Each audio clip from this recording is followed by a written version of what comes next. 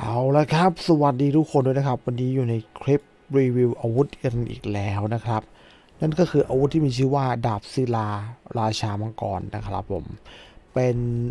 อาวุธที่เรียกว่าโคตรเทพอาวุธชิ้นหนึ่งเลยละกันละครับ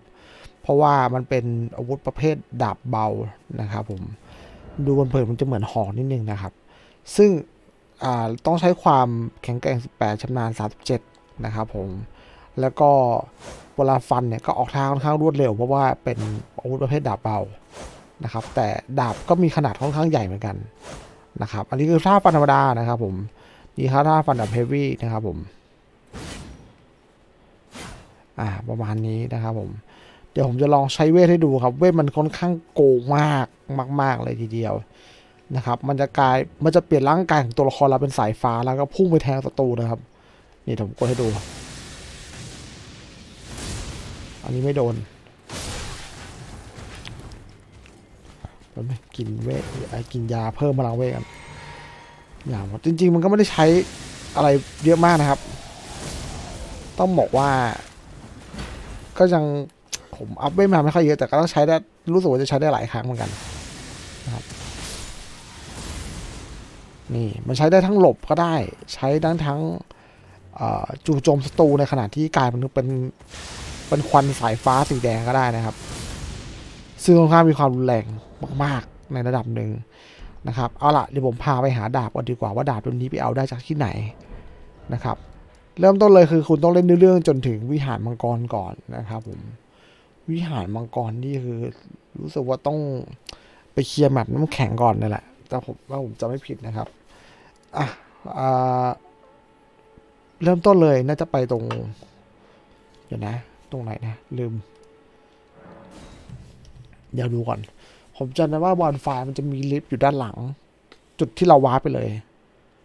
อืม ตรงนี้แหละ คิดว่าถ้าจำไม่ผิดนะครับ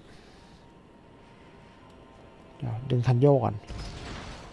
ลืมลืมลืมคันโยกอยู่ไม่ได้สูงมากนะครับต้องบอกว่าบอสเนี่ยเป็นบอสลับด้วยนะครับ เป็นบอสมังกรสองหัว แต่จริงๆผมปาดไปแล้วก็ไม่รู้ว่าจะมีให้เพื่อนๆได้เห็นหรือเปล่านะครับ แต่เดี๋ยวไปสู้กันเองเดี๋ยวก็จะเห็นเองนะครับผมว่ามันอยู่ตรงไหนนะครับเอาละจากนั้นเราก็ทำการเดินไปตามทางเรื่อยๆครับ จะมีศัตรูอยู่ตัวหนึ่งก็ไม่ต้องไปสนใจครับ ก็วิ่งไปเลย วิ่งผ่านไปเลยอย่าไปสนใจ วิ่งเดินออกไปสู่โลกกว้างที่เราต้องการ วันนี้อัดคลิปเยอะนะครับ จะเบลอเบลอๆหน่อย ตรงนี้จะมีทางลงนะครับ ดูดีๆนะ ดูดีๆนะ ดูไม่ดีนี่คือล่วงแตกนะครับจุ๊บจุ๊บจุ๊บจุ๊บอ่า ตรงนี้ลงไปได้ แล้วก็โดดลงไปเรื่อยๆนะครับผม วันนี้อัดคลิปเยอะไปหน่อย เบลอๆหน่อยวันนี้ อะ โดดลงไป โดดลงไปครับ โดดลงไปเรื่อยๆเลย จนกว่าจะไปถึงตรงนู้นน่ะนะครับ ทีนี้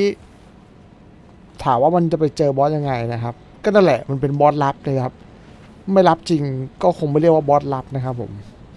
ซึ่งพอเรามาถึงตรงนี้เสร็จปุ๊บเนี่ย มันจะมีคำสั่งให้เรานอนกับพื้น เนี่ยคือนอนตรงนี้ เนี่ยถ้าเราไม่เคย อันนี้ผมผ่านมาแล้วไงครับ มันคำสั่งไม่มีให้ขึ้นแล้วแต่ถ้ายังไม่เคยผ่านอะกดนอนตรงนี้ มันจะมีคำสั่งให้เรากดนอนพอเรานอนเสร็จปุ๊บเหมือนเวลามันจะย้อนกลับอะไรสักอย่าง แล้วตัวเราจะเข้าไปอยู่ในพายุ แล้วในพายุนั้นก็จะมี boss อยู่ข้างใน ว้าวโคตรเฟี้ยวบอกเลยเท่มากๆนะครับ นี่แหละคือวิธีมาเอาดาบเล่มนี้นะครับ ชนะ boss เสร็จปุ๊บเราก็จะได้ดาบมาใช้นะครับเท่มากๆนะครับผมไม่ถึงดาบนะ boss ก็เท่นะครับผม เอาอีกรอบแล้วกันนะครับ คือต้องบอกว่าเวลาเรากลายเป็นร่างควันแล้วเราไปพุ่งชนศัตรูก็มี damage นะนะครับ แล้วพุ่งลงมาแทงอีกก็มีดาเมจอีกนะ ลองดูใกล้ๆนะครับ เห็นไหมอ่า ยังไม่ทันได้ลงมาแทงเลยตายซะแล้วนะครับผมลองมาอีกรอบโคตรเจ๋งนะครับนี่เอาแบบศัตรูหลาย ๆ ตัวในแบบพร้อม ๆ กัน ดูว่ามันจะมีประสิทธิภาพ หรือว่า performance แค่ไหนในการใช้นะครับผม นี่ลองดู โอ้โหโอ้โหโอ้โหตายหลายตัว ตายกันรัวๆอืม ล็อกก็เอาไม่อยู่ คือถ้าไปเล่น PV PVP ก็ถือว่าโกเหมือนกันนะครับ นี่เราแทงธรรมดาบ้างโหแล้วแทงติดสายฟ้าสีแดงด้วยครับ โหดจริง ก็แทงธรรมดาก็มีเวทติดมาแล้วในอาวุธนะครับผม ก็คร่าวๆประมาณนี้นะครับสำหรับใครที่ชอบก็อย่าลืมกด ไลค์กด subscribe กับช่องด้วยถ้าคิดว่าคลิปของผมมีประโยชน์สำหรับคุณนะครับสำหรับวันนี้ผมขอลาไปก่อน เอาไว้เจอกันใหม่ อย่าลืมแนะนำช่องนี้กับเพื่อนๆของคุณด้วยนะครับ